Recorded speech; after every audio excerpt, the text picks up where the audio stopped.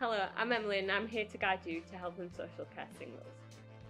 In Key Stage 5 you will be learning about new skills such as roles and responsibilities as well as expanding your knowledge into other areas of health and social care such as psychology and one of its units. You will also learn about communication skills and expanding on your examination skills which will help you on your pathway into your future career. One of the things I find interesting about health and social care is how you can apply it to any setting at all. Now, I'll be honest with you, my dream career is in film.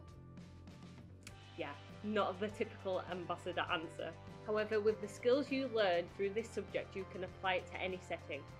This includes person centered care and empathy, which you are able to take into any colleague situation and then move forward into any situation and become a more successful company. One of the biggest differences between Key Stage 4 and Key Stage 5 is the workload. But even though you are doing more of what you love, it is easier to fall behind. So keep focused and make sure you have some notes because trust me, you will need them. One of my biggest challenges since being in sixth form has definitely been motivation and positive self talk.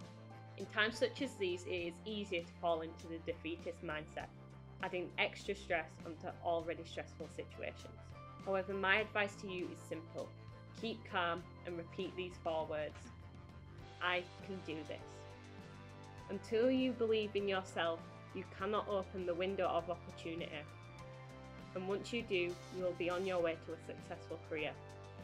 So, from one Wood Kirk student to a future one, have fun, keep learning, and welcome to Healthy Social Care.